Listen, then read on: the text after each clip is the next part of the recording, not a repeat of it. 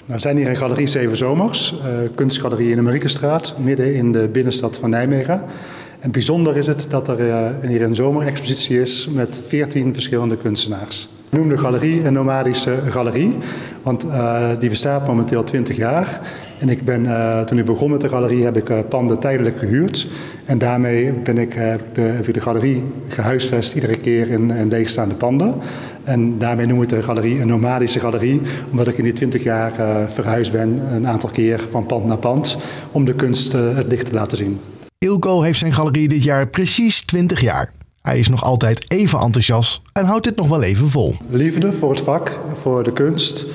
Dat als eerste, zeg maar. En de ambitie om mooie kunst bij elkaar te brengen.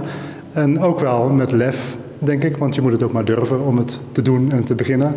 En het vol te houden. Want dat is natuurlijk wel, als je 20 jaar bezig bent, dan uh, komt er in 20 jaar komt er van alles voorbij. Dat exposities heel goed lopen of dat ze minder goed lopen. In het begin was het hard werken, maar nu heeft hij eindelijk zijn doel bereikt met een prachtige galerie. Ik ben begonnen in 2003 omdat ik zelf, ik ben zelf uh, beeldend kunstenaar, ben kunstschilder, maker van alle kleurrijke schilderijen hier in de galerie.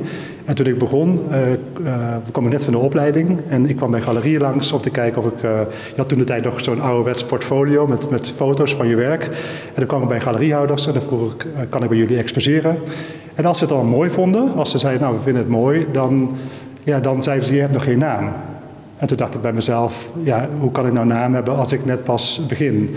En waar anderen dan bij de pakken neer gaan zitten en denken, nou, uh, dan, dan maar niet, uh, ben ik wel het type om het dan om te draaien. Ik hou van dingen omdraaien in, in het leven. Dus ik dacht, dan moet ik zorgen dat ik zelf naamsbekendheid opbouw.